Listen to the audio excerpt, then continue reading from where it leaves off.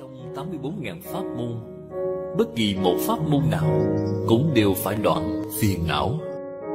Không có nói không đoạn phiền não mà có thể thành tựu. Không đoạn phiền não mà có thể thành tựu Thì chỉ có pháp môn này. Cho nên, Đại Đức xưa nói pháp môn tịnh độ là Môn dư đại đạo. Chữ môn này chính là 84.000 pháp môn. Ngoài 84.000 pháp môn ra, Có một con đường lớn. Con đường lớn này là pháp khó tin. Thật sự là khó tin, Bởi vì bình thường, Bạn tiếp xúc với tất cả pháp môn, Cả thấy đều là phải đoạn phiền não Thì mới có thể nâng cao cảnh giới của chính mình. Đâu có chuyện không đoạn phiền não mà có thể thành tựu chứ. Hơn nữa, Sự thành tựu lại cao như vậy. Cho nên đây là pháp khó tin. Mọi người chúng ta đều có thể tin tưởng Đây không phải là chuyện đơn giản.